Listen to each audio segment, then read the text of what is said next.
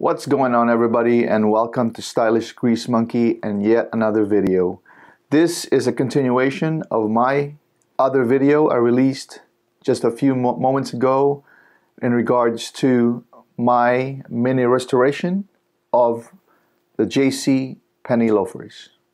Stand by.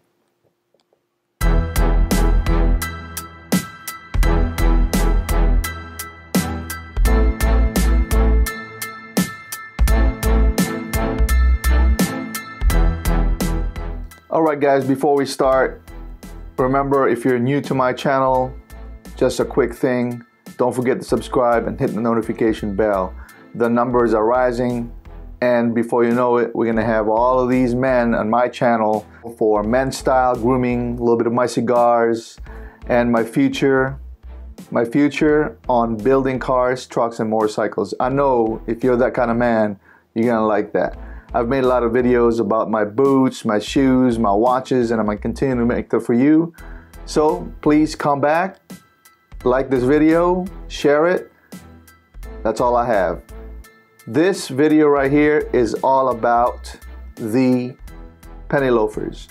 Know, aside from the boat shoes, penny loafers is one of my go-to semi-casual shoes because it is very versatile. You know, you can wear it with any kind of outfits, right? You can wear it with trousers, dress pants, you can wear it with jeans, blue jeans, black jeans, white jeans, whatever have you. You can wear it during the summertime, you can wear it during the spring, winter. It broke a while back because I, I used it in the rain and uh, you know the bottom just separated from the top of it I've showed you that in my first video, but a quick recap. Um, the bottom sole just detached totally from the top of the shoe and I was quite surprised that J. Crew did not sew the sole to the actual shoe. So I don't know what's up with that, but it broke. I fixed it. If you want to see the video on how I fixed that, then you can click somewhere above here. I'll post that up here or down in the uh, description below. So this video right here is particularly and specifically just for cleaning it and getting it ready for wear.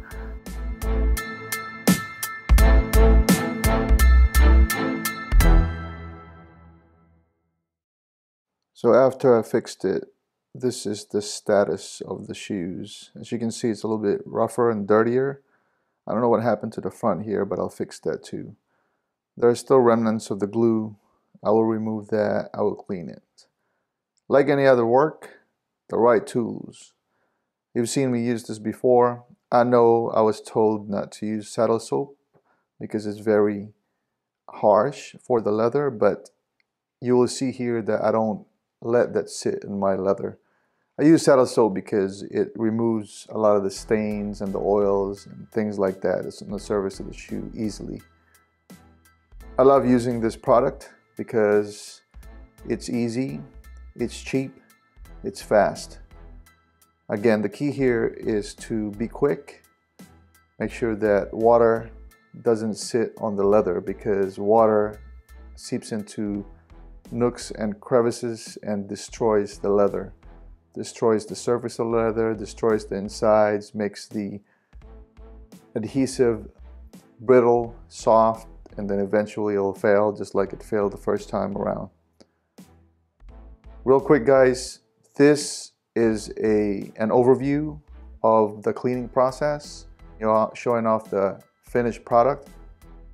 But if you want to watch this video on full view from start to finish, I will post an ASMR video separately from this video so that you can enjoy that. For those of you that enjoy ASMR videos like I do, I will post that on a separate post.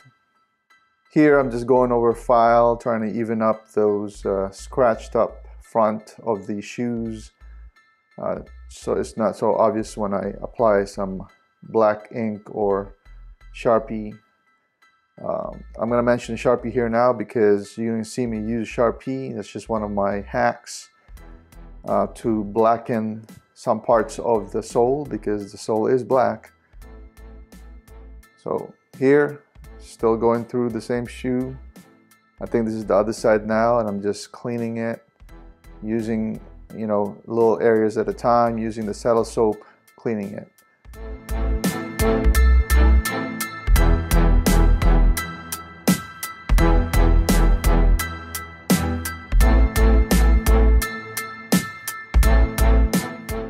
here's the Sharpie guys. You know, you have to have hacks, right? So my hack is using Sharpie on the areas that are light, uh, such as the area that I sanded right there on the front. You can see it's light. So you use this just for touch up. Um, there's like a welting around the shoe uh, that's all scratched up. So using Sharpie makes it black again. Looking good. Starts to look good now. Here's some leather lotion, leather milk, honey, whatever you want to call it, made from kiwi. Really good about restoring the surface of the leather, makes it nice and soft. Uh, use it sparingly, don't use it too much because it'll make it really soft you just want to, you know, refreshen the, the leather, right? Here, applying the lotion makes the leather darker uh, and remove some of the scratches, which I was very surprised. So what I wanted to do was use black polish to finish the bottom of the shoe, uh, just to, you know, get rid of the lighter black color and the dirt or the dryness that the soap had created with the sole. So this works very well. Just be careful you don't get it on the brown area. You can see here in the background there's also a brown kiwi. I'm gonna do is I'm gonna apply very light, right? Very light. And this is probably the only time I will apply this. Reason being is that there's dye in the in that uh, brown leather shoe shine and fills in more of the scratches and some of the uh, light areas. Big difference guys. If you look at my other video when I started, the leather is quite dry, it's been left alone for a little while. Here it's got a little bit of shine to it. I don't want to shine it too much, but I love the color that was brought back with it. Very satisfied with it.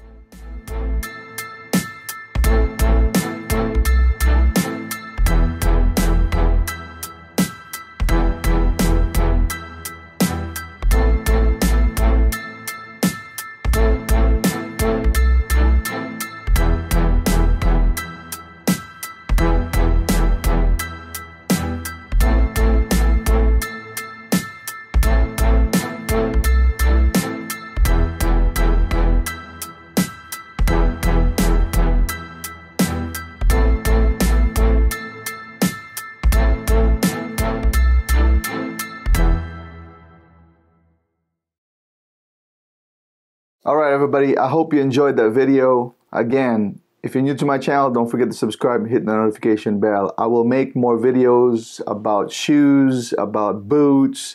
I have videos waiting to be released on making watch bands, leather watch bands, and things like that. So again, this channel is about men's grooming, about men's style, and everything else that comes in between. I'll talk to you later.